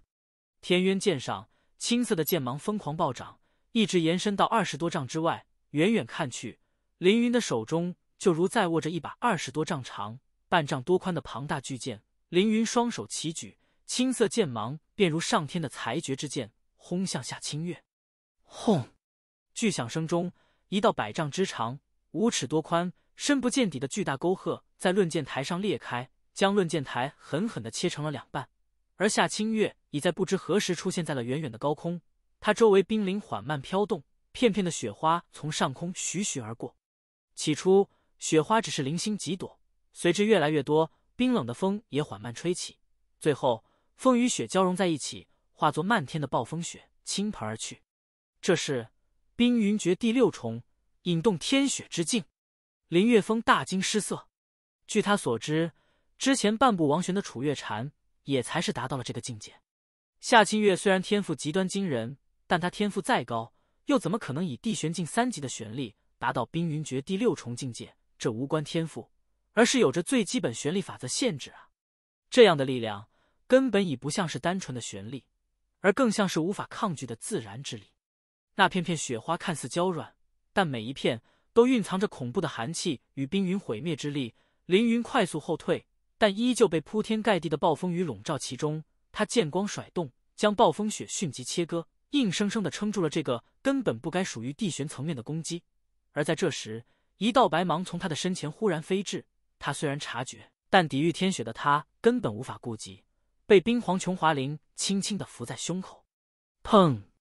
凌云一口鲜血喷出，洒在纯白的雪花之上，而同时，也在这正面受到的一击下，他借力向后远远遁出，脱离了漫天暴风雪的攻击，在空中连续十几个翻滚后，他重重的落在地上。单膝跪地，手撑天渊剑，口中大口喘息着。林月峰忽的站起，伸手一抓，林杰手中的天阳剑被他吸入手中，然后飞掷向了凌云。云儿接剑。凌云抬头，眸中闪过痛苦的挣扎，但他还是伸手把天阳剑抓在手中，眼神也重新恢复刚毅。之前林杰对战云彻，便上演了一场凌云铸剑，而现在一模一样的场景竟在凌云身上上演。论剑台鸦雀无言，谁也没有发出嘘声，因为任谁都知道这一战天剑山庄绝对绝对输不起。若是让堂堂苍风第一势力、至高无上的霸主沦落到第三位，无疑会是天剑山庄世代无法抹去的耻辱。凌云也自然不会不知道这一点，所以纵然动用双剑有伤他的傲气与尊严，他也没有拒绝。与天剑山庄的声威相比，他的个人尊严根本无关紧要。这一战，他必须胜。左手天渊，右手天央，凌云缓缓站起，握着天央剑的手也缓缓松开。失去了持握的天央剑，却诡异的没有跌落，而是就这么悬浮在了那里。凌云双手合在身前，眸中荡动起奇异的光芒，就如剑芒一般凌厉。身体周围也环绕起一股淡灰色的玄力光芒。剑灵分身，本章完。第二百三十八章领域终结。小说《逆天邪神》，作者：火星引力。天央剑的后方忽然出现了一个虚幻的影子，随着凌云口中的低念和全身玄力的涌动，这个影子快速变得凝实，最后竟化作了一个毫无虚幻感的人影，和凌云一模一样的衣着，和凌云一模一样的体型，就连长相、眼神都一模一样。他伸手抓起了身前的天央剑，顿时。一股与凌云一模一样、毫无折扣的剑势释放而出，两个凌云站在了一起，除了手中的剑，看上去根本没有任何的不同。云彻嘴巴微张，目露惊然：“这是幻象、残影？不对，如果是幻想，根本不可能有剑士这种东西的存在。但他的身上却分明释放着完全不弱于凌云的气势，完全就像是另外一个真正的凌云。”两个凌云，在场之人都是当场惊呆，尤其是年轻玄者，眼睛都瞪得比牛眼还大。这是什么功法？世界上怎么会有如此不可思议的功法？简直就像是变戏法一样。而就算是实力最低的玄者，也从第二个凌云身上感受到了完全不弱于真正凌云的气势。这是剑灵分身，是只有对剑意的理解达到登峰造极的境界才能释放的特殊剑意技。秦无伤沉眉说道：“这个剑灵分身是以凌云的剑意所化，不但不会对凌云本身的实力有所损耗和分散，而且有着和凌云完全一致的玄力和玄功玄技，等于另外一个完全一样的凌云。不过，剑灵分身对精神力会有着很大的损耗。剑灵分身消失的时候，凌云也必然会变得极为疲惫。但以凌云的剑意，这个剑灵分身至少会存在半刻钟的时间。这半刻钟，夏清月。”将等于同时面对两个凌云，一个凌云便已无比可怕，两个凌云，夏清月别说半刻钟，支撑六十息都极为艰难。秦无伤说话间，凌云的天渊剑已直线刺出，一剑惊鸿。这一剑仿佛切裂了空间，纵然是有一座山岳横在前方，也足以被一切而断。夏清月白绫飞舞，迎上了天渊剑，随着大片爆裂之声，剑影与白影击撞在一起。恐怖的声音如雷电齐鸣，而这时，另一个凌云已迂回至夏清月的后方。天阳剑以同样凌厉的气势一剑刺来，除非动用打破正常规则的力量，否则夏清月的玄力只能勉强与凌云势均力敌。而动用超越规则的力量，无疑会有着巨大的消耗，绝不是能频繁发动的。夏清月可以与一个凌云抗衡，但绝对不可能同样面对两个凌云。冰莲爆开。夏清月已迅速移位，但两个凌云如影随形，一轻一沉，两把天玄剑支起两张巨大的剑网，将夏清月牢牢的封锁其中。天渊剑与天央剑的力量本就互辅互生，此时双人双剑合璧，威力绝不是倍增那么简单。咔！整个论剑台猛地一震，下方的台石被冲出了大片蜘蛛网状的裂痕。朵朵冰莲在夏清月身边绽放，但马上便会被倾城剑气搅得粉碎。逐渐的，攻击冰莲越来越少，防御冰莲越来越多，到最后，所有的冰莲全部集中于防御。冰皇琼华灵也转为全力防御状态，环绕着夏清月的身体快速飞舞，抵御着来自两把剑的连绵不绝的剑气。纵然如此，依旧险象环生，被凌云步步逼退。没想到，凌云居然已经可以动用剑灵分身。姐姐，我记得当年，你也是因为林月峰使用了这招诡异的剑灵分身。你才被打败的，楚月里开口道，声音轻缓，神情冷然。虽然夏清月已陷入了绝对的劣势，但他却似乎不显得焦急。楚月缠面若寒霜，没有回答。楚月里闭上眼睛，发起了灵魂传音：“清月，看来已别无选择了，动用领域吧。相信公主知道凌云可以剑灵分身后，也不会因你动用领域而怪责于你。”正竭力对抗两个凌云的夏清月动作一致，忽而。他身上冰凌飘动，一个巨大的冰玉莲华在脚下爆开，将两个凌云同时逼退。两个凌云退撤十丈之外，又马上闪电般逼近。而这时，夏清月的身上忽然释放出了大片冰蓝色的光芒，他双目闭合，脸色如冰雪般恬静。随着他双臂缓慢的张开，漆黑的如墨的长发无风飘起，一股凛冽无比的寒风忽然从苍穹之上呼啸而下。冰云岭玉。低低的轻吟从他的唇间缓慢吐出，霎时，仿佛眼前的世界忽然切换，他周围的百丈空间瞬间变成冰蓝一片。在这片巨大的冰蓝领域之中，空气变得如炼狱一般的寒冷，漫天冰霜无声而落，空气中的水元素也被快速凝成无数冰晶，很快在地面之上铺了一层越来越厚的银白。两个凌云的动作同时停滞，全身急速凝结起冰层，脸上更是露出深深的骇然。这是，这是，这是林玉。没等林月峰惊声出口，轩辕玉凤一把抓住了林月峰的手，失声喊道：“林坤的脸色也顿时发生了变化。震惊之后，他低低一声，自语道：‘真不愧是无视规则的九玄玲珑体。’领领域，不，不可能，这不可能。领域不是王座的力量吗？但这分明就是领域之力。”还是一个完整的领域。这次不光是年轻玄者，就连那些长着都全部惊呆。领域对年轻玄者们来说还太遥远，而他们这些长着可是深深知道领域的概念，而领域这种力量还是他们毕生所追求的最高目标。领域，领域！林无垢呆呆的看着眼前变成冰蓝色的世界，一张脸在呆滞中彻底僵硬。他如今天玄境八级，有生之年冲击王玄境的可能性极其渺茫，而能施展领域，便是一个王座之力的标志性证明。但这对他而言，只能是可梦而不可及的梦想。但他的这个梦想，却在一个只有十七岁的少女身上完整的呈现。夏清月的这个冰云领域，在威力上当然不能和楚月禅当初用出的相比，但完整度上却要完全超过。毕竟，当时半步王玄的楚月禅所能施展的，顶多只是半个冰云领域，而夏清月的这个却是完完整整。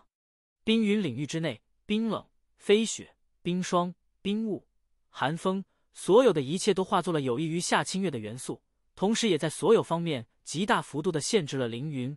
恐怖的寒冷锥心刺骨，让凌云的身体从体表寒到体内。漫天的风雪、冰雾遮蔽着他的视线。起初他还能竭力支撑，但逐渐的，他的身体越来越僵硬，无论是身体速度还是剑速都大幅度下降，就连剑势也如被冰封一般越来越弱。叮！来自凌云的所有剑芒被直接冻结在了半空，就连天渊剑与天阳剑之上也快速蔓延上了厚厚的冰层。冰云领域的世界就如一个寒冰地狱，若没有同等强度的领域进行抵消，承受的将是持续的冰域追魂之苦。地玄境三级的凌云，别说两个，就算是十个、一百个，也不可能筑起一个真正的领域。凌云骇然失措间，他的脚下、胸前也已在不知不觉间结起厚厚的冰层，冰皇琼华林当空袭来，但他僵硬的身体已变得不再听使唤，移动的无比缓慢。砰！胸口的冰层轰然破碎，这一击，夏清月并没有留力，将凌云远远的轰飞出去，一直飞出了百丈，落在了冰云领域之外。砰！凌云狠狠的砸落在地上，剑灵分身在他落地的那一刹那消失在了那里，天阳剑也无力的掉落在地上。在冰云领域中，他被冰封的不仅仅是身体，还有玄力。受到攻击时，他的玄力防御极为孱弱，这一击让他受到了不轻的内伤。剑灵分身的溃散，更是让他灵魂力受到重创。他眼前的世界一片混乱，身体一阵挣扎，却始终没有站起。少少庄主，林无垢急步冲过去，把凌云扶了起来。一碰触到他，才发现他的身体简直冷得如冰块一般。我认输。缓缓的睁开眼睛，凌云艰难无比的说出这两个曾经以为这辈子都不会说出的字，然后脑袋一歪，昏死了过去。最初和夏清月平分秋色，使出剑灵分身后，他大占上风。而夏清月的冰云领域一发动，他在转眼之间便一败涂地，因为那是超越了玄力法则，根本不该出现在地玄境界的力量，他没有一丝抗衡的能力。林月峰重重的坐回到座位上，然后长长的喘了一口气，默默的闭上了眼睛。在冰云领域出现的那一刻，他就知道凌云败了，天剑山庄也败了，一丝侥幸都不可能有。他明明只是地玄境，怎么可能？怎么可能？林月峰一声声的失神低念着，直到现在，他依然无法接受这所有人亲眼所见的一幕。凌云认输，冰云仙宫下清月胜，进入明日的最终战。林无垢站起身来，用一种带着明显痛苦的声音宣布了这一个赛前谁也没有料到的结果：凌云败了，全是凌云败了。他们难以想象，如果这个结果传了出去。苍风帝国会引发一个多么巨大的轰动，而若是一个地玄境的玄者可以动用领域的消息传了出去，震惊的将毫无疑问是整个天玄大陆。半步王玄的强者中，有些天赋异禀的可强行施展不完整的领域，但从未听说有人可在地玄境发动领域，还是完整的领域。冰蓝色的领域缓慢消失，在所有人带着深深震惊和难以置信的注目下，夏清月从空中飘下，落地时。他的身体轻轻一晃，高耸的胸脯也出现了剧烈的起伏，脸色更是蒙上了一层不正常的苍白。以地玄境的玄力发动属于王座的结界，可想而知会给他带来多么巨大的消耗。这个绚丽的冰云结界，他在全盛状态下也最多只能勉强维持二十息的时间。玄石重新立于论剑台中心，上面显示出了明日最终战的两人：苍风皇室云彻对战冰云仙宫夏清月。本章完。第二百三十九章夫妻之战一。小说《逆天邪神》，作者火星引力。四位战的两场比赛都以让人始料未及的结果结束。云彻与林杰的对决让人们饱餐了一顿视觉盛宴，而夏清月与凌云的对决则彻彻底底的打破了所有人的认知。对战结束之后，目睹对战全程的人内心久久无法平息。排位战，二十岁之下年轻人的对决。居然出现了领域，哎，真是长江后浪推前浪。我们老了，年轻人的时代已经提前到来。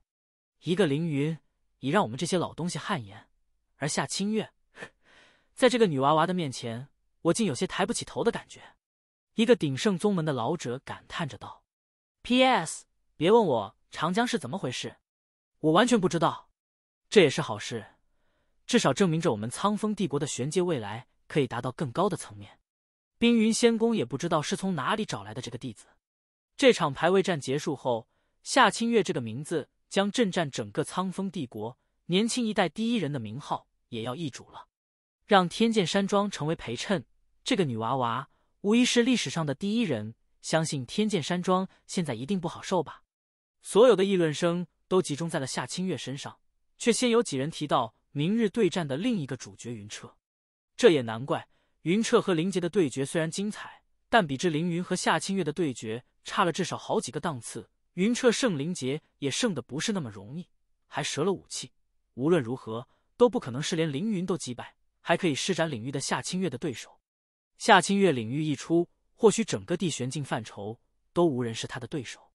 这种超脱境界和玄力规则的能力，简直就像是上天给开的金手指。天剑山庄的人现在的确不好受，被领域冻结躯体和经脉，又被夏清月一击创伤，还伴随着施展剑灵分身的后遗症。凌云整整昏迷了三个时辰，都还未醒来。昏迷中的凌云脸色苍白，眉宇间不知闪过痛苦的神情，不知是因为身体上的痛苦，还是在年轻一代从无敌手的他无法承受当众惨败，也让天剑山庄蒙羞的结局。鱼儿还未醒吗？林月峰走过来。脸色无喜无悲，还没有。剑灵分身不是自行消失，而是被击溃。大哥的灵魂应该也受到了不小的创伤，不过再过一两个时辰，应该就醒过来了。林杰担心的道：“哎。”林月峰长长一叹，闭上了眼睛。这两战，你和你大哥都发挥出了全部实力，我们败得无话可说。看来是我这些年太过自傲和坐井观天了。我们天剑山庄的霸主时代。就要就此终结了吗？夜幕降临，天空残月高挂，无声的倾洒下皎洁的月芒。月芒之下，夏清月静坐在荷花池旁，手托香腮，静静的看着天空并不圆满的明月，眸若静水，毫无涟漪，不知在想着什么。寒风微飘，一个雪白的倩影无声的来到他身侧。夏清月垂下目光，站起身来，轻轻一礼：“师伯。”楚月禅微微颔首。然后伸出玉手，手心之中是一枚如雪一般纯白又释放月一般光芒的药丹。你今天动用领域，元气小伤，明日最多恢复六成，服下它便可以恢复十成。冰魄回天丹，夏清月美眸讶然，却没有接过。冰魄回天丹珍贵无比，不应该浪费在清月的身上。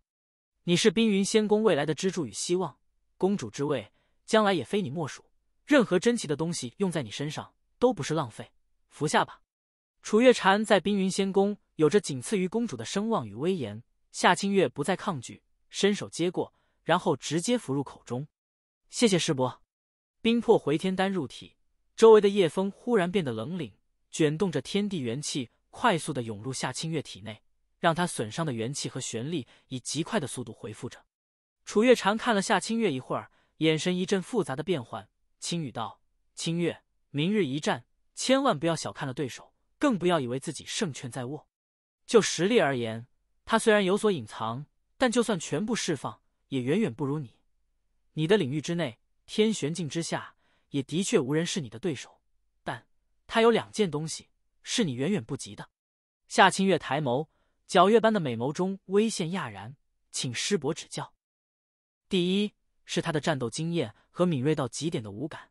他的战斗经验和危境之时的反应、判断和决断，不要说你，纵然是我，都远远不及。第二是他的毅力和爆发力，即使他被你压制到毫无还手之力的绝境，也千万不要以为他败了。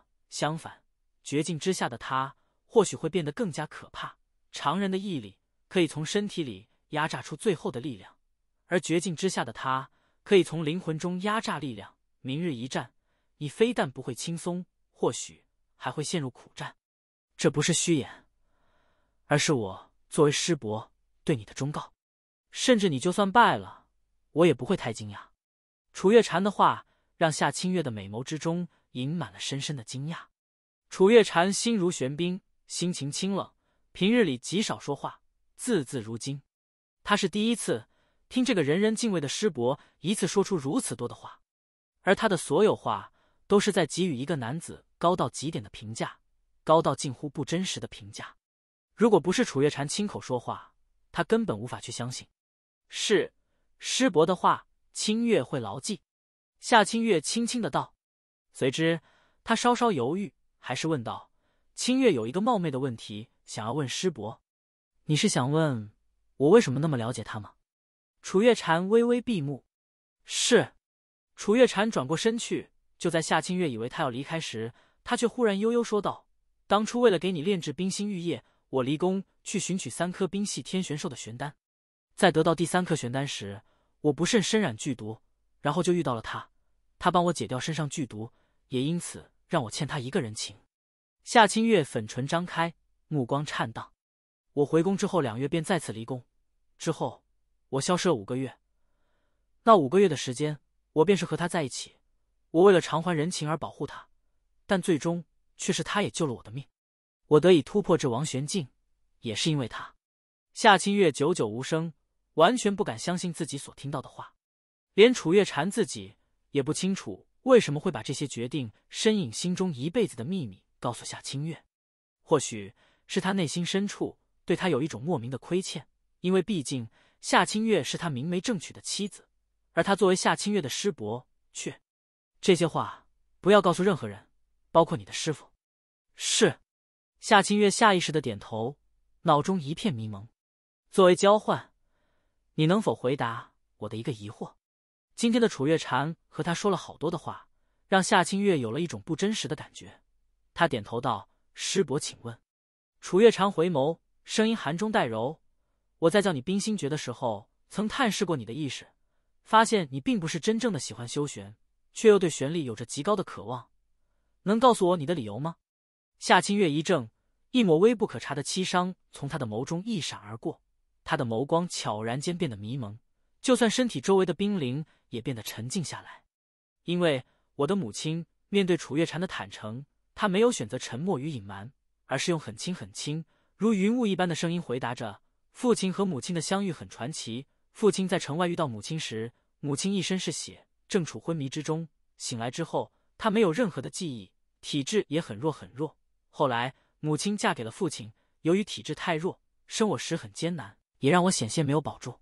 在我四岁那年，母亲忽然恢复了记忆，她走了，是像仙女一样飞走的。走的时候，她抱着我和弟弟，哭得肝肠寸断。她说：“如果她不走，会给我们全家带来灾难。”她说：“她去的那个地方叫做众神之域，是我们永远不可能到达的地方。”那之后，父亲虽然依旧坚强，但我经常看到他在一个人时暗自垂泪。十几年过去，他也没有再婚娶。弟弟那时懵懵懂懂，长大后最羡慕的便是别人可以有母亲。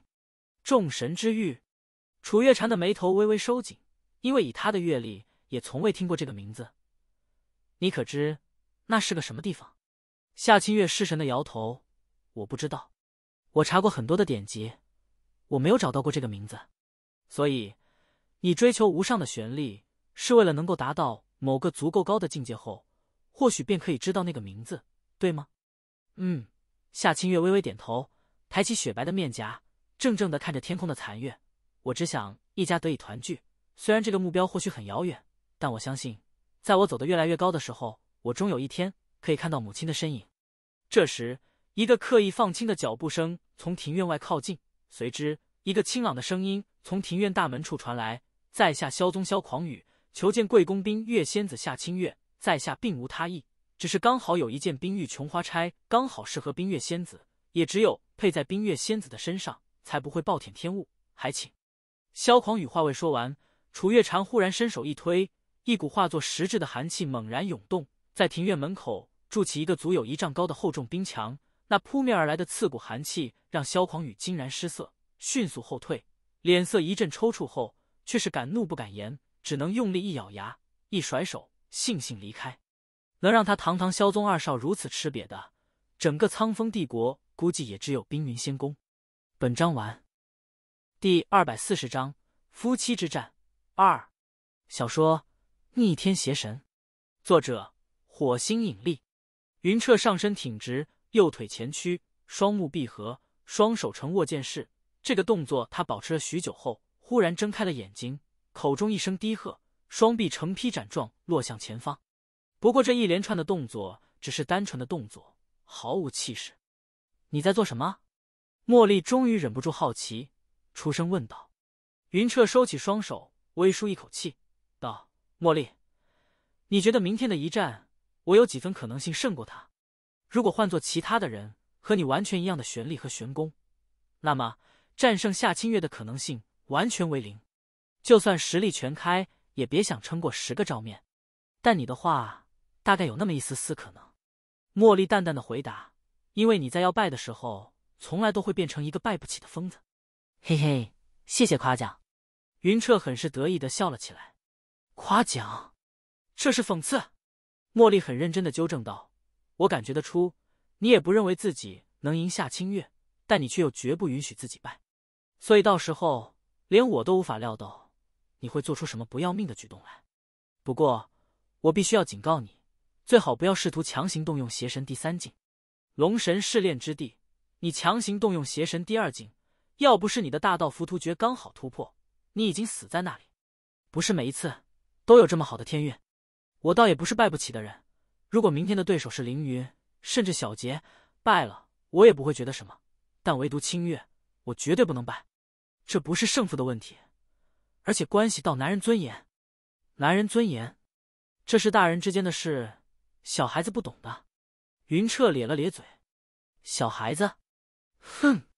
我所知道的东西胜你千万倍。茉莉不屑的冷哼道：“你还没有回答我，你在比划什么？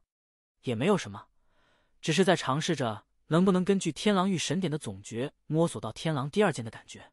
不过我显然过于异想天开了。”云彻无奈的道：“这种形式的摸索，他已尝试过多次，每次都毫无所获。”茉莉，你对天狼第二剑真的一点印象都没有吗？云彻忽然问道：“目前他所有的攻击玄技中，以天狼斩的威力最大，而天狼斩才是天狼玉神典的第一剑，便以如此威力，之后的剑招必定有着更加惊世骇俗的神威。我当年不过是在看哥哥练剑时随手翻阅的天狼玉神典，只记得总诀和第一剑。”说到这里，茉莉似乎想到了什么，微一停顿后，云彻的脑中忽然多了一连串的画面，画面之中，一个身姿英挺。看不清面目的青年男子正挥舞着一把比他身躯还要巨大的重剑，重剑的每一次挥舞都引得风云变色，地动山摇。这是，这是哥哥练剑时的画面。他的重剑剑招大部分都是来自天狼域神典，但只有动作，没有玄诀。而且我不保证这些画面我没有记错和遗漏的地方。你能不能从中有什么收获，就看你自己了。茉莉很不负责的道。云彻不再说话。潜下心来，默默的观摩着脑海中那个身影舞动重剑的神姿，一遍又一遍。次日，天剑山庄论剑台，太阳还未升起，论剑台便已座无虚席。今日是这届排位战的终结之日，决战的双方史无前例的是一对只有十七岁的少年少女，一个是所有参战弟子中玄力最低，却一路连败，玄力远胜自己的对手。最终奇迹般闯入决赛的云彻，他的每一场比赛都带着或多或少的传奇色彩。他是排位战历史上第一个只有真玄境的参战弟子，更是历史上第一个闯入决赛的真玄境参战者。而另一个，则是昨日展露真正实力，战胜凌云，震惊全场的夏清月。而经过昨日一战，他已成为所有人口中的苍风帝国第一奇才，并取代凌云成为年轻一辈的第一人，将来也必是名震苍风的帝皇级强者。而以往从来都是这场决战主角的天剑山庄，这次却沦为了单纯的看客。林月峰来得很早，但一直静静的坐在坐席上，一言不发。昨日战败的凌云也出现在林月峰身边，同样沉默不言，但他的表情很平静，至少表面上，他似乎并没有因昨日的战败而受到太大的打击。毕竟不是他太弱，而是对手强大的出乎所有人的预料。今天论剑台本来有两场比赛，第一场是第三位与第四位的争夺，但这场对战以战前林杰提前认输而直接结束。原本众望所归的第一位凌云就此排在了第三位。排位战前，众人对排位的前三位有着诸多的猜测，唯一一致的便是守卫避暑凌云。如果不是经历了昨日他与夏清月的一战，任谁也不会想到，更不会相信这样的结果。本届排位战最终排位战。苍风皇室云彻对战冰云仙宫夏清月，请两位登上论剑台。林无垢在论剑台中央高声宣布：“云师弟，加油！姐夫，加油！”云彻站起身来，忽然侧身道：“元霸，你是希望我赢呢，还是希望你姐姐赢呢？”啊！夏元霸被问住，他抓了抓脑袋，道：“姐夫赢的话，我当然开心；姐姐赢了的话，我当然也会开心。”说到这里。夏元霸的双目灼灼的闪耀起来，哇呀呀！以前只能在梦里出现的排位战，居然是姐姐和姐夫争夺第一位，简直就像是在梦里一样。不过相比之下的话，我还是还是更希望姐夫赢。哦，为什么？云彻似笑非笑的问。这个这个，因为姐姐毕竟是女孩子嘛，又是姐夫的妻子，被姐夫打败，好像更合理一些。夏元霸有些懵懵懂懂的道。哈哈。云彻笑了起来，他伸手一拍夏元霸的肩膀：“元霸说得好，作为男人嘛，输给其他人也就罢了，但绝对绝对不能输给自己的老婆。管他是只母老虎，还是一只母凤凰，都一定要把他牢牢的，嗯，骑在身下。”夏元霸瞪了瞪眼，呆呆的点头。虽然他还没完全消化完云彻说的话，但总觉得说的好有道理。云彻的这篇歪论让苍月一阵莞尔，但并没有嗔怪。这充满着傲气和大男子主义的话，在女子听来本应该是反感的，但从云彻的口中喊出，却一点都不让他觉得诧异，更没有反感，反而有一种这本就是属于他性情的契合感。数千人注目下，云彻走到了论剑台中心，与夏清月相对而立。此时的夏清月冰纱遮面，让他纵然距离得很近，也无法看到他的面容。不过昨日的惊鸿一瞥，已足以让他深印心中。两人默然相对，全场除了有限的几个人，谁都不会想到，这两个看上去根本不可能有什么交集的人，会是一对真真正正的夫妻。回想当初迎亲、拜堂、同寝，那时她是刘云成公认的天之娇女，更是早已被收作冰云仙宫的弟子，而他不过是个玄脉残废，人人蔑视、永无前程的废柴。两人的差距犹若天壤，但短短几日的相处。云彻甚至已在夏清月清冷的内心中打开了一个小小的缝隙，但随之而来的变故让他们提前离散。再见之时，两人的人生轨迹和高度都已是天翻地覆。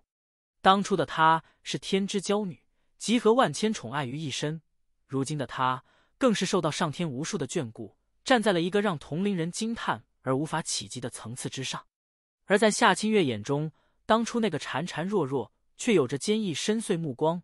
在他面前还有些胆大妄为的少年，却在短短的不到两年之内，奇迹般的长成了一棵苍天大树。那时的他只能任人欺凌，最终被无情的逐出家门。如今的他却可以傲然站立在这个苍风帝国最高层次的玄力赛场上，向整个帝国的巅峰强者们宣告着他的名字，仿佛是命运的奇妙安排。这对本不应该再有交集的夫妻，却同时站在了这个象征着巅峰的赛场上。对方是他们最后的对手，清月，你知道我为什么要来参加这次排位战吗？云彻首先开口，看着夏清月的眼睛，微笑着道。不等夏清月出声询问，云彻已接着说道：“第一个原因是为了完成雪若师姐的心愿，这一点我已经做到。”至于第二个原因，云彻右手前伸，辉光一闪，龙雀剑的剑柄已被他抓在手中，镶嵌着狰狞龙首的剑尖自然垂落，在一声轰然中灌入脚下的土地中，一股厚重而霸气的气势也如浪潮一般向四周汹涌扩散。在我打败你之后，便会告诉你。龙雀一出，毫无意外，天玄之剑的威势一下子震慑全场。在苍风帝国，周所周知的天玄武器一共有七件，这这把重剑却是一把从未有人见过的天玄武器。这种气势是天玄器，还是上品天玄器？苍风帝国竟然还存在这样一把天玄器，为什么我从来没有听过？难道是苍风皇室一直隐藏的至宝吗？看样子还是一把重剑，天玄的重剑，恐怕就是一个天玄境的强者都难以驾驭。他能驾驭的了吗？天天玄重剑！